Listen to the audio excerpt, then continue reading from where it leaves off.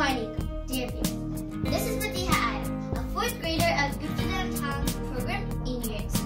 In this channel, you will enjoy my speeches in United Nations, Harvard University, my interviews at Columbia University, of America, and where not. My motto is education is fun, play to learn. My main focuses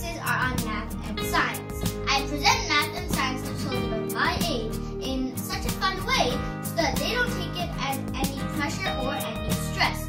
I also present to them Quran recitation and Quran tafsir. At the same time, you will learn how to make your own apps and games by seeing my coding videos in where I teach you HTML and JavaScript. I have won many awards in several math contests and I have also been awarded